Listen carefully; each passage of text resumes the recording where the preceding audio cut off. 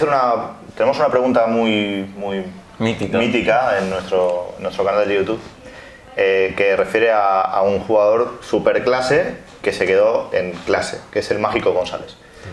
¿Jugaste con él? sí. ¿Lo viste jugar? ¿Te Juego contra él, sí. Juego contra él y, y entiendo que, que digan esto todos los aficionados del Cádiz, porque aparte he sido compañero de curso de entrenadores con, con Pepe Mejías y me lo corroboró, que, que- que era un jugador que, que hubiera marcado una época si hubiera tenido pues, una continuidad en su vida, a lo mejor fuera del campo, ¿no? Porque ese talento que hablamos, ¿no? De, de que tenía dentro del campo no lo correspondía fuera con no cuidarse, ¿no? Siempre hablamos de Messi y Maradona y yo creo que, que Messi eh, posiblemente sea Maradona cada tres días. Bueno, Maradona hubiera sido mejor mejor si hubiera tenido más continuidad en el tiempo, ¿no? Y Mágico yo creo que le pasó lo mismo, ¿no? No, no tuvo esa continuidad en su juego y en su vida ah, fuera de los terrenos de juego porque lo que hacía dentro era maravilloso. Hay O sea, gente que lo compara y Sí, lo sí, pone sí, a la misma altura que Maradona. no, no. Mágico González, de hecho, estuvo haciendo una gira con el Barça y se le comparaba en aquel momento con él. De hecho, tenía ese talento desequilibrante que tenía Diego Armando Maradona. Yo creo que, que a Mágico le faltó un entorno mejor, no sé, algo que le permitiera haber tenido eh, más posibilidades en el terreno de juego de ser más tiempo Mágico González y estar en otro equipo, no, no sé. Yo creo que al fin y al cabo el talento tiene que ir acompañado de otras cosas para ser un jugador y es lo que hablamos ahora, hay chavales que se cuidan más y eso les permitirá llegar a la élite porque te- la exigencia de la élite no te permite tener una vida fuera desordenada. ¿A ti te tocó marcarle? ¿Jugar Sí. contra él? ¿Y qué Complicado. Pues eh, imagínate, eh, muy desequilibrante, o sea, jugador que te ibas a, a encimar ya con un toque ya te había regateado.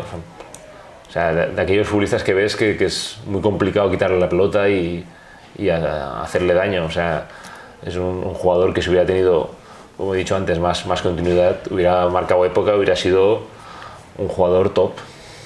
Hay una pequeña anécdota o algo que marca tu carrera y es que eres el jugador de historia del fútbol español con más tarjetas rojas No, ya no. solo te supera Ya, ya, Sergio Ramos. ya me ha pasado.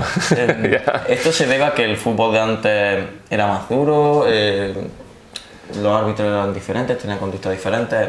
¿A qué se puede deber? ¿O tú reconoces que siempre ibas buscando No, yo, esa falta? Yo sí, tuve la suerte, ¿no? Que cuando batí el récord, que creo que lo tenía Juanito, me hizo un reportaje de Canal Plus y me trajo las 18 rojas, ¿no? En un vídeo y las vimos, ¿no? Y, y se quedó hasta Ramos Marco, que era el árbitro que, que colaboraba con ellos. Dice, ostras, pues si no hay ninguna jugada brusca, o sea, no hay ninguna patada, o sea, todas eran por protestar, por mano, por una falta o segunda amarilla cerca del área. El año 90, cuando yo debuto, entra la ley de último hombre que te tiene que expulsar. Ha habido muchas acciones que mucha gente desconoce. O sea, y siempre lo, comento con Pablo Alfaro, que tenemos las mismas rojas. Las tarjetas rojas de Pablo Alfaro no eran las mismas que las mías, ni las de Sergio Ramos. O sea, yo era un central de un perfil de pocas faltas. Yo hacía muy pocas faltas. De hecho, creo que en la final de la Recopa no cometí ninguna falta porque yo me anticipaba, yo intentaba ¿no? conseguir, porque eh, mi forma de entender el aspecto defensivo era tratar de evitar quitar la pelota sin hacer falta. De hecho, como te he dicho, la, mayoría de tarjetas eh, nunca han sido ni por agresión ni por una entrada brusca. Hay, hay una roja que yo creo que te marca un poco, ¿no? Sí, Porque sí, esa a ti y, a- y al, al Linier y al árbitro de ese partido, porque A Linier la ha marcado más que a mí. Sobre todo. porque la, la oportunidad. Porque es a ver lo que vio, ¿no? Porque se ve que tú pasas cerca pero no lo tocas y Sí, pero yo eh, hemos hecho relación después de eso, nos juntaron algunas televisiones y también he estado en su peña en León, porque coincidió en un viaje estaba en León y ahí lo conocí en persona, ¿no? Y él me lo reconoce que yo, yo lo había pensado eso, ¿no? Cuando dices, ¿por qué me ha, me ha culpado a mí, no? Eh, no he hecho nada. Pero yo lo entiendo porque yo estaba con Couto marcándole los corners, entonces él ve que hay algo que se cae de Couto y lo primero que le viene a la cabeza es que he sido yo por, porque Couto estábamos todo el córner evidentemente zarandeándonos ahí pero sin agresividad no o sea normal. dentro de la deportividad no pero yo creo que Couto en una jugada que, que es la que coge Juanmi la pelota por la frustración él me pisa por detrás no intencionadamente entonces claro yo me imagino que él al verme girar Rafa Guerrero se piensa que soy yo porque Solana intercede y, y fue cuando le dice... Pero casi no le. O sea, que No, no, no hace le nada. acaricia, es, es un cariño. No, no, no, Solana además, se ve nadie, ¿no? me dice, no, no, si lo único que hago es de- decir, venga, vete de aquí que no... Entonces, él sobreactúa, ¿no? O sea, ahí con Fernando Couto sobreactúa, ¿no? Y, y lo que más me molesta, que siempre se lo he dicho a Rafa, que mi mujer siempre me decía, dice, pero ¿por qué le dice, ha empujado el 6 a Fernando Couto? O sea, se conocía a Fernando Couto y a mí no me conocía.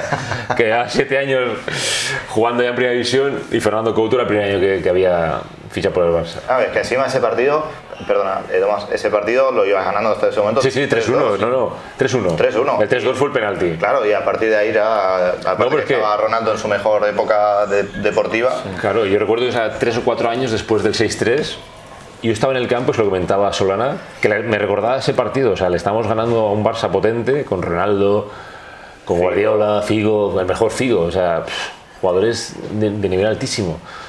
Y recuerdo que, comentando con Solana, que, que el equipo estaba para hacer más goles, pues estaba Gustavo López, el Kili, Radimov, estaban jugando de maravilla.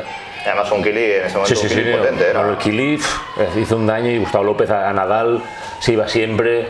Y, y recuerdo que comentamos de, bueno, que, que- que el equipo tenía fuerza para repetir ese resultado. Y minuto 20 o no, que sé qué minuto de la segunda parte se produce la jugada esta, rompe todos los esquemas, porque pasas a jugar uno menos, te hace el penalti, te mete 3-2 y ya, eh, claro, el Barça se, y te gana 3-5.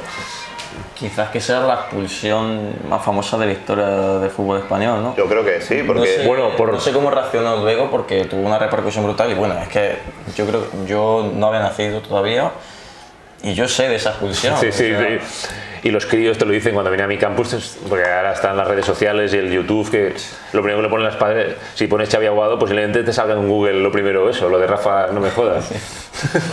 y eso, y tiene un alcance, claro, en aquella época, porque coincidió que Canal Plus había instalado unos micrófonos detrás de, de los banquillos y en las laterales, entonces se escuchó toda la conversación. Ahora eso no pasaría. no, ahora, Ahora con el pinganillo, la expulsión no tenía tanta repercusión, pero es que estuvimos casi 10 minutos. O sea, San Juan me decía que me fuera del campo porque había dicho mi nombre, que me cambiara. Digo, ¿cómo voy a si el árbitro está ahí? O sea, estás dentro del campo y no te lo crees. Poyet decía que nos fuéramos. Poyet decía, venga, vámonos, que esto es una. Pero claro, te quedas tan perplejo porque son situaciones que dices, no he hecho nada. Eh, tampoco es una acción de Solana, porque Solana se le decía que no he hecho nada, solo el apartado y tal. Entonces, que te cambia el partido y de hecho, eso poca gente ha hablado. Ese partido fue el principio del fin de Víctor Fernández. Víctor Fernández, que estábamos el equipo yendo hacia arriba, perdimos y tres o cuatro partidos después seguimos perdiendo y los cesaron como entrenador del Zaragoza. Si llegas a verlo, ni, ni lo rozas, ¿no? Porque No, porque claro, es normal, ¿no? Cuando dentro del campo hay contactos y situaciones de, venga, vete de aquí y tal, pero un, un árbitro tiene que saber cuando un, un jugador sobreactúa. En este caso, yo creo que Couto ahí peca un poco de mal compañero, porque creo que buscó la roja de, de un rival, pero a su vez compañero de trabajo.